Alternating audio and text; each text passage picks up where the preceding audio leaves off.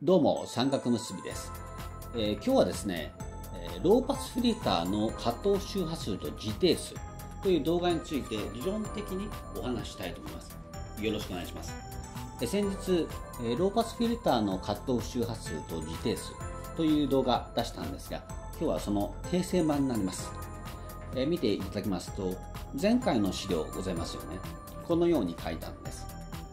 1番目といたしましてローパスフィルターはカット周波数より低い周波数を、まあ、この図で言いますと V アウトの方に通過させるんだというお話をしました。そして実験をしましたよね。カットオフ周波数これは1割 2π× 自定数なんだというふうに、え、お話したんですがそして自定数の部分は CR で、まあ、1割 2π の部分だけ先に解いておきますと0.16になると。え例えばですね、時定数が 1.6ms であれば、0.16割る 1.6ms なんで、0.1セコンド、100ミリセコンドになるんだというお話をしました。例えば、16kg の抵抗と0.1マイクロファラッのコンデンサーでは、カットオフ周波数は1割る 2π×16kΩ はかけ0.1マイクロファラデーで 100Hz になるんだというふうに、え、お話しましたよね。そして 1kΩ の抵抗と1マイクロファラットのコンデンサー。これ基準に考えますと、カット周波数は 160Hz になるんです。でいろんな場合の自定数とカット周波数のグラフを書いたんですが、ま、このようになってまして、次見ますと、前回行った実験の回路ですね。このような回路図書いて実験したんですが、実験例といたしまして抵抗 10kΩ コンデンサーを0.1マイクロファラドとしてカット周波数 100Hz とする。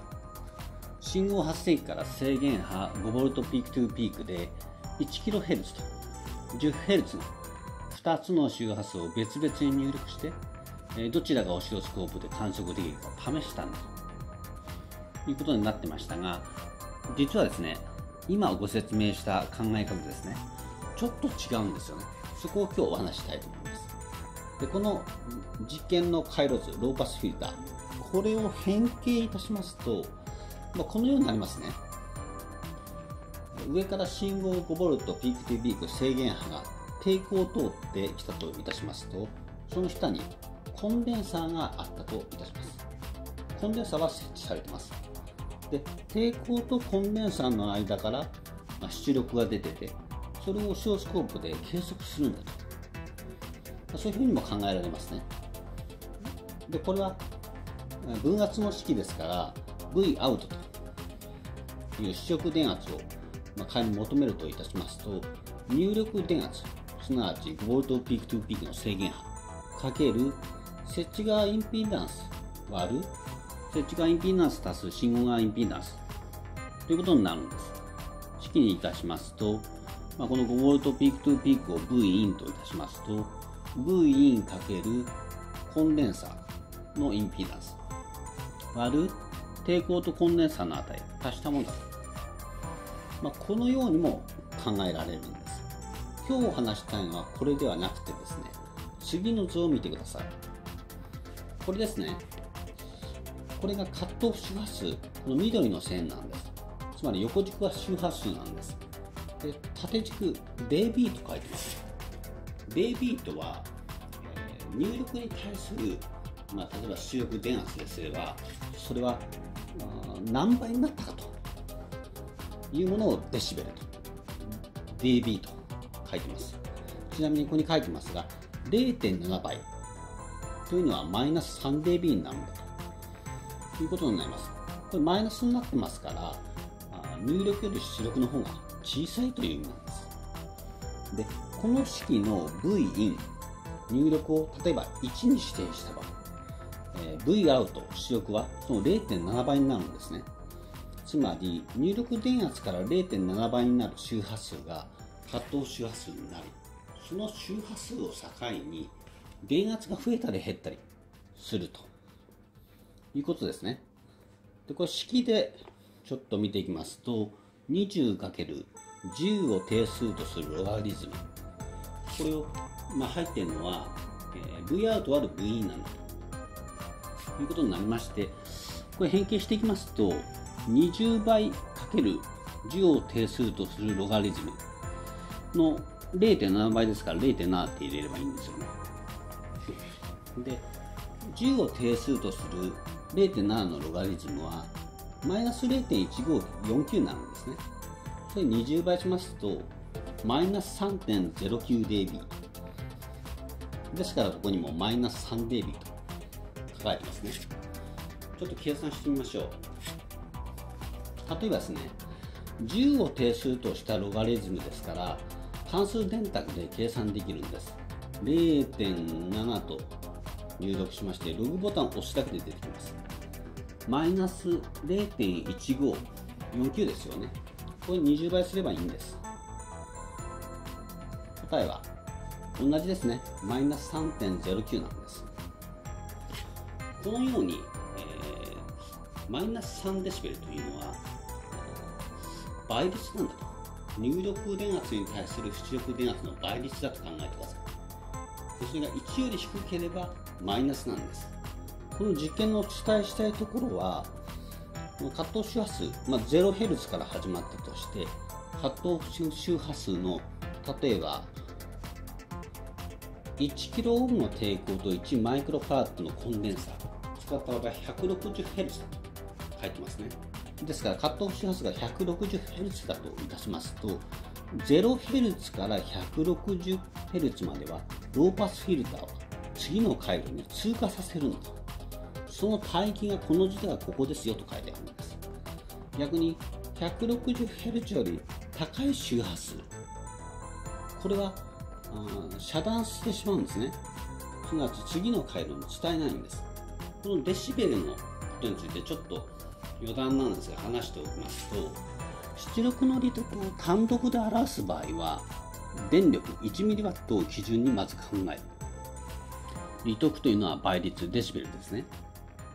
例えば 4mW をデシベルで表しますと電力の式ですから10倍の10を定数とする 4mW ある 1mW のロガリズム。ということになりますので答えは 6dB と出ます。テスターでは電力を測定できませんので電圧を測定して電力のデシベルとして求めるのです。すなわち dB というくらいですからこれは電力で比較してるんですね。これを電圧で計算したいんです。ですから電力は電圧かける電流ですよね。E かける I なんです。でも I を変形すると E 割る R なんです。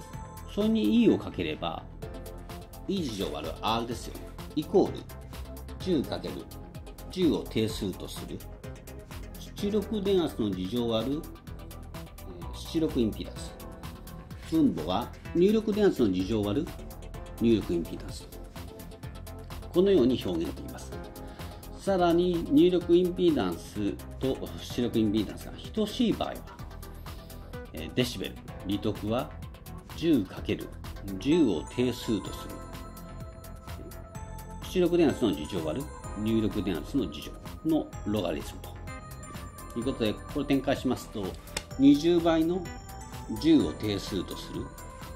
出力電圧割る入力電圧のロガリズムだと。いうことで元のこの式になりますね。でこれをですね今回は実験しないで理論的にお話しするだけだと言ったんですがどのように理論的にお話しするかと言いますとまずは LT スピースという電子回路シミュレーターこちらで計算してみたいと思います。まずは新規のグリッドがある画面を立ち上げましてエディットをしましてコンポーネントを押します。そしてボルテージを選択して OK を押してください。まあここに置くわけですよ。そして抵抗機体ですね。抵抗ボタンを押しましてここら辺に置きます。そしてコンデンサーですね。置きます。あとは線でつなぐためにドローワイヤーというボタンを押しまして、回路をつなげていきます。で結果マイナスに戻すんですね。でこれ電子回路ですから、まあ、設置線設置が必要ですねグラウンドを置きましてドローワイヤーでこうつなげるわけです。これだけではなくてですね抵抗とコンデンサーの間に、出力するものを書いております。まずは抵抗値を決めたいんです。抵抗のところで右クリック。そしてオームをですね、えー、1キロとします。これで OK です。コンデンサーの容量ですね。右クリックしますとキャパシタンスファラットと書いてますので1マイクロとしてください。これであればカットオフ周波数は 160Hz になるんだと。先ほど書いてありましたね。で OK を押すんです。そして電源ですね。ここで右クリックアドバンスというのを押しますと、えパルスとかサインとかいろいろありますがノーンにしたままで AC アンプっていう、まあ、仮に 5V ピークトピークだと考えて、え5とかしておきます。そして OK を押すんです。AC5 と出ましたね。あとはこれシミュレーションするわけですがシミュレーションの条件を入力します。シミュレートというメニューからエディットシミュレーション CMD というボタンを押してみてください。2番目のタブの AC アナライ y スを押しますと Type of Suite と書いてますね。これプルダウンからオクターブにしてください。それと Number of Coins パーオクターブとできますんで、まあ、20箇所ぐらい見たいですか。このように入力してみます。そしてスタートフリークエンシーからストストップフリークエンシー。今回みたいですのは、まあ、0Hz かみたいですよね。初めから。でストップフリークエンシー。仮に仮に 10kHz まで1万と入れておけば見れるはずです。OK を押しましょう、えー、スタートフリークエンシーマストビーポジティブなってますので、これ10ですね。10にしましょう。これで OK。で、ここに置いてきます。これで、えー、ランを押せばシミュレーションするはずなんです。押してみましょう。出ましたね、グラフが。でどこを見たいかというと、視力電圧を見たいですから、ここに鉛筆のマークを持ってって左クリックです。出ましたね。縦軸がデシベル、倍率ですね。入力に対する周波の倍率なんです。で、横軸周波数 10Hz から 10kHz までございますね。この何を見たいかというと、この実践を見たいんです。これですね。横軸の周波数が対数メモリになってますんで、100Hz。次が200、300、400、500、600、700、800、900、1kHz となってますから、ここは200ですよね。先ほど 1kΩ の抵抗と1マイクロファラットのコンデンサーを使えば 160Hz になるはずだと僕は言ったんです。ここら辺ですね。ここら辺が 160Hz だと思うんです。そして、そのカットオフ周波数 160Hz の時はマイナス 3dB。まあ、これから始まったとして 3dB 下がればいいわけです。